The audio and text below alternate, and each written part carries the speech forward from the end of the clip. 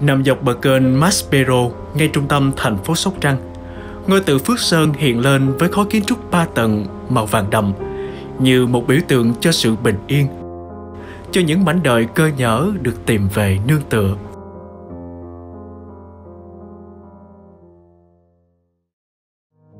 Một buổi sáng năm 2016, sư thầy bước ra cửa và nhìn thấy một đứa trẻ bị bỏ rơi.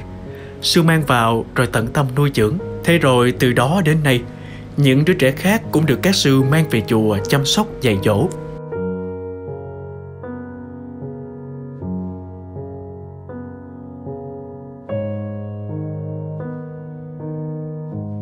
Mỗi đứa trẻ được ký thác đơn phương cho chùa là mỗi câu chuyện cuộc sống của chính các em và những người đứng sau đó.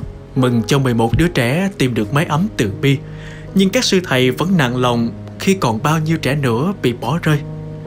Nếu số trẻ còn tăng lên thì mái ấm này phải thêm chật vật để che chở và yêu thương. Nhưng xuất phát từ tâm nguyện của thầy trụ trì và tấm lòng bác ái của nhà Phật, các thầy và cả Phật tử đã tạo nên một trang mới cho cuộc đời những chú tiểu này.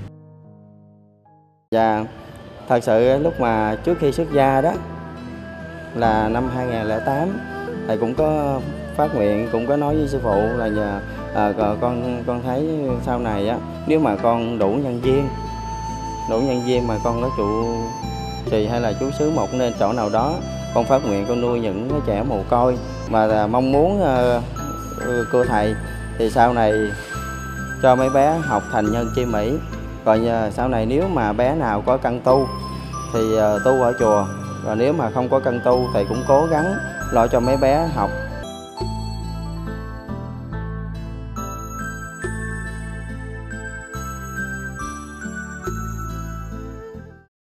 miền Tây, xem tin miền Tây, bàn chuyện miền Tây. Hãy bật kênh STV, Đài Phát thanh và Truyền hình Sóc Trăng vào lúc 18 giờ mỗi ngày để, để xem miền Tây 24 giờ.